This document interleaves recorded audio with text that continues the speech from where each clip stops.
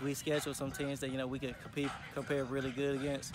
Then you know, coach gives us good game plan to execute every single week. And the plays, you know, we really want it. You know, this uh, most of us are last year we got a lot of seniors, so we just get after it all the time. And it's like you just perform. If you just execute well every time, you perform 100, percent can't nothing go wrong for you. You're playing for each other, but you're also playing for the community, right? Mm-hmm. Yeah. What's that like? Well, you got, you know, we have a packed stands every home game, every away game. There have been times like in away games we have more people than the home team, so it shows you they care a lot. It is just that gives you a lot, gets your adrenaline pumping, the thrill of having people cheering for you like you make a play.